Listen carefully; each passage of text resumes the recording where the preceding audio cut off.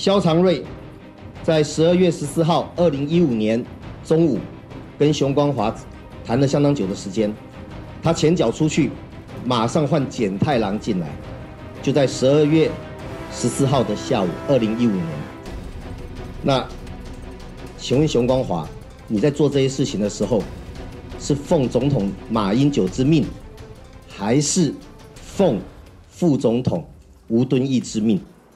要不然你一个第一副秘书长，好大的胆子，把这两个人约进来谈事情。